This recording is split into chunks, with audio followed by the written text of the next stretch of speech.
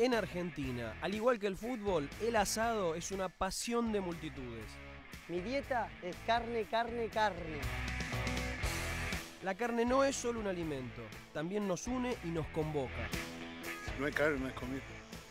Porque es parte de nuestra cultura, voy a recorrer el país para conocer las formas más curiosas y tradicionales que existen de cocinarla. Porque en definitiva, como siempre decimos los argentinos, de carne somos.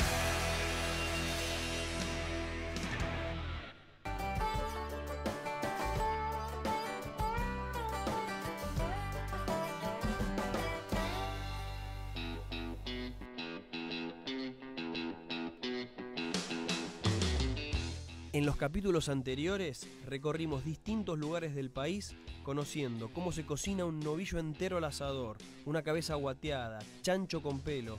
Pero ¿qué sucede alrededor de la carne en las grandes ciudades?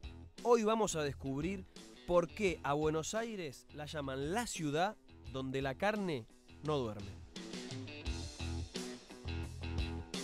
La ciudad se despierta y la carne también voy a visitar a dos expertos en desposte para saber exactamente dónde están los cortes que más consumimos los argentinos.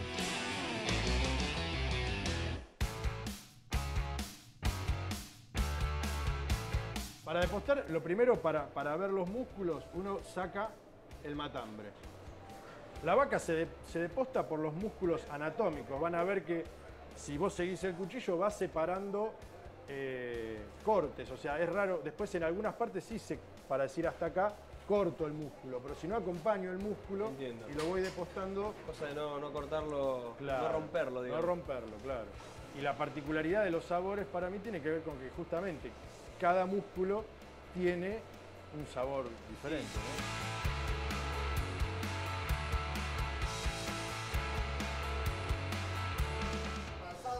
Está pasado, sacala, sacala, sí, ya la está pasado, va.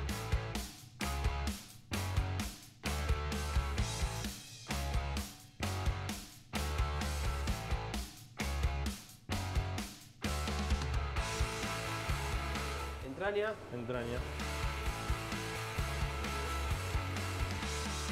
qué destreza que tiene, porque tenés que marcarlo bien, no, no podés Claro, estar llevándote sí, carne sí. de más. Y ya te digo, vas, vas incorporando la distancia que hay entre músculo y músculo, o sea, sabes para dónde cae. Porque después vas trabajando con la gravedad, ¿ves? O sea, él ahí va, marca y ella sabe que el vacío se suelta. Donde empiezan las flotantes, las costillas flotantes, ese es el vacío.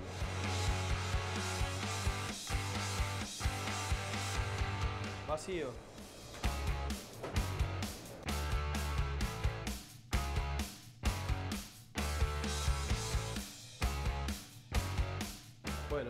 Es quizá lo más preciado, lo que más le gusta a la gente. en Sí, lo más famoso también por ahí, ¿no? Como el asado. Mirá lo que es. Que-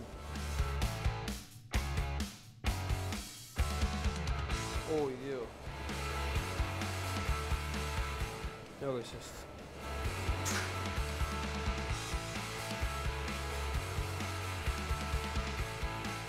¿Ahí? ¿Te gusta? Espectacular. ¿Te piden mucho el ojo de bife? Sí, sí, sí. Bastante, ¿no? Para mí personalmente es la carne más rica de la Es de la vaca. riquísima. Bueno, de alguna manera tenemos todos los cortes acá, los, Sí. los clásicos más Sí. los nuevos. Sí. Y lo, que más vendés en, en la carnicería, ¿qué es? ¿O es parejo? Ahora actualmente para parrilla el vacío.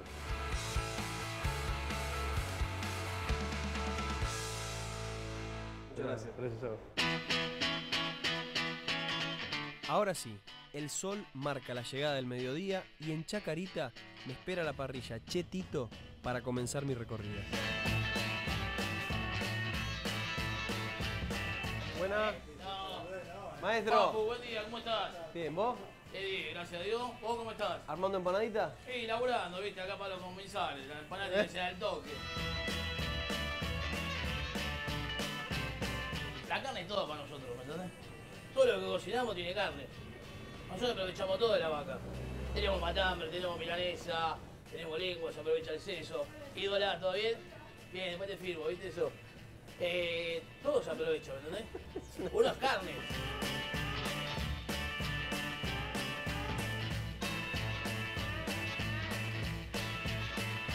Haceme el ranking tuyo de carne. Y lo más que sale acá es vacío, vacío y asado.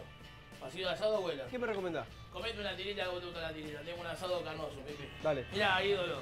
Ah, no. Lo que siento, Pipi.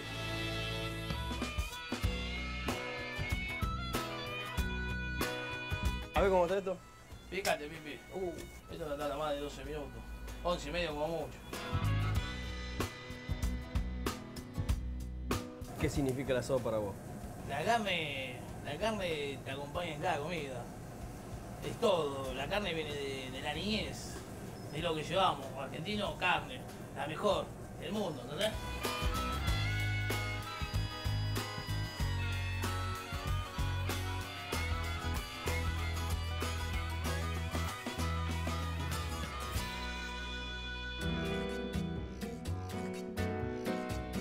Acá tenemos un riquísimo bife de chorizo a la parrilla. Uno podría pensar que la parrilla es un invento argentino, pero en realidad temo decepcionarlos. Tiene que ver con Francia, con una historia bastante simpática de un herrero llamado Philippe Ledoux, al cual un señor que tenía un castillo, un chateau, le encarga que cerque todo su, su palacio con unas hermosas rejas.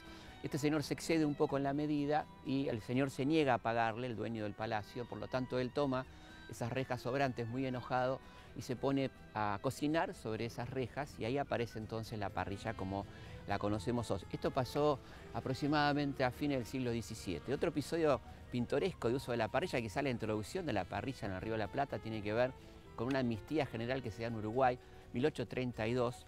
Los presos salen y destruyen la cárcel y usando las rejas que antes los aprisionaban, hacen un hermoso asado popular en Colonia del Sacramento. Dos formas de, de origen de la parrilla, uno en Europa, otro en el Río de la Plata. La parrilla era evidentemente una forma de cocina popular que se fue convirtiendo luego en algo profesional y aparecieron restaurantes llamados parrilladas en algunos lugares y parrillas, lugares a los que solemos ir a disfrutar cosas como estas y hoy en día son probablemente los restaurantes más populares de la Argentina, las famosas parrillas de nuestro país que son envidiadas y son quizá las más preciadas cuando llega un turista de Europa o de los Estados Unidos donde quiere ir a la parrilla a consumir estos manjares argentinos. Vamos a comernos, ya está preparado, esto está buenísimo, no lo podemos perder. ¿eh? Salud.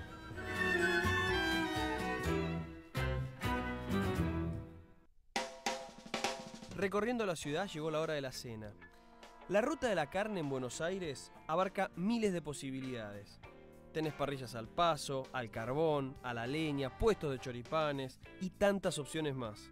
Pero hace mucho tiempo me vienen recomendando la carne madurada del restaurante Elena.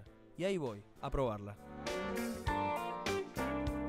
Acá tenemos la cámara donde maduramos el total de la carne, sí. Es solo para madurar. Solo para madurar, sí. ¿Qué aroma? Hay algo como lácteo, ¿no? Sí, sí, hay un proceso láctico. De- de- Láctico. de- sí, exacto, que te genera ese aroma, ¿no? Para entender bien, madurar una carne, ¿qué es? Madurar una carne es eh, un proceso controlado de deshidratación de una pieza de carne, básicamente. Bien. Esa es el- la finalidad del trabajo que haces con el madurado. ¿Y para qué se hace? Y en este caso, ¿para qué lo haces vos? Y en este caso lo hacemos para intensificar mucho el sabor y a la vez para tiernizarla un poco. Hay un proceso enzimático que hace que tiernice la carne. ¿Cuánto tiempo más o menos lo maduras? Nosotros maduramos 45 días 45. Vos la ves a la carne después de 45 días y sí, por fuera luce extraño porque está seca, Sí. pero adentro es roja como cualquier otra carne. Todo se- esto se, se se va. lo sacás. Sí, se va todo. O sea que también forma parte de una merma. Exactamente. Sí, es casi Ahora, el la carne 50%. buenísima.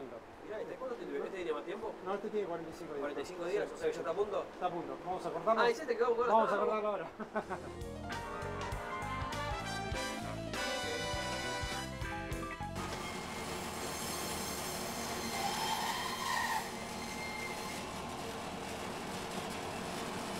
La consistencia lo logra por eso, por la ausencia de líquido. aroma ¿no? tiene, increíble. El aroma es increíble. ¿Sal antes, sal después? ¿Cómo haces? Sal antes, a mí me gusta salar antes. Bueno, vamos a poner un poco de brasa así empezamos a cocinar.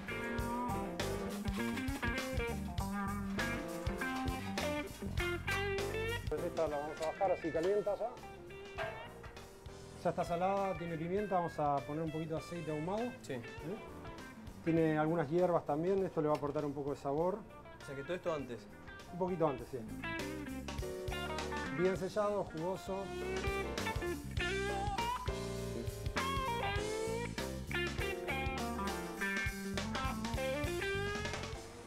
Uh, con este estamos. Me vuelvo loco. Ahí sale el lomo.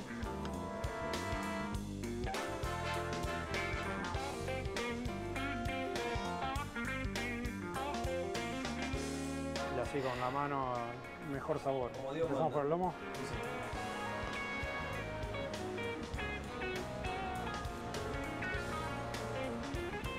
Uh, Está bueno, ¿no? se te deshace en la boca. Sí, sí, es una manteca. Pero es una manteca sabrosa, Sabrosa, es espectacular, Juan, es Se lográs de buenísimo. un lomo, que es una carne magra, No tan sabrosa, una carne hiper sabrosa, ¿no? Me sorprendió, pensé que iba a estar rico, pero la verdad, Sí, es otra cosa, ¿no? Textura, sabor es otra cosa.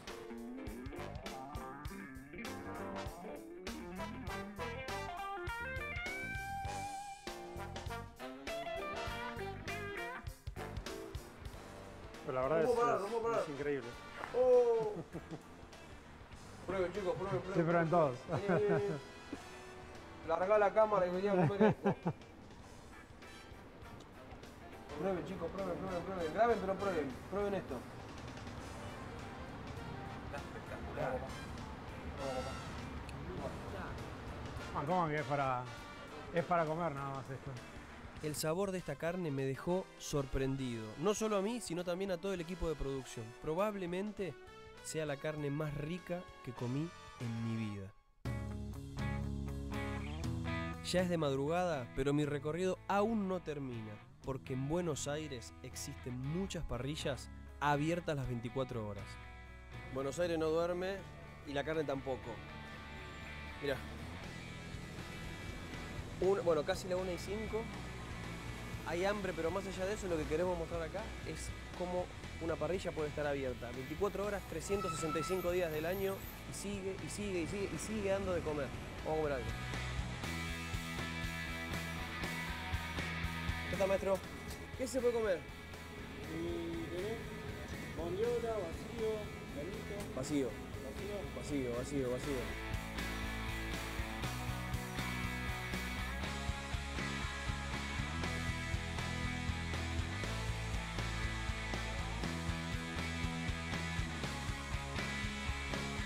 Dos sándwiches en uno, más o menos. Muchas gracias. ¿Chimi, puede ser? Sí. ¿El secreto de este chimi? El secreto nuestro es el, el aceite de las berenjenas al escabeche. Usás el aceite de las berenjenas en el escabeche que te quedó para Sí. hacer el chimi.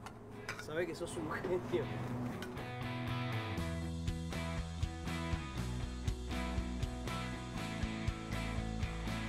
¿Y qué tal está? Muy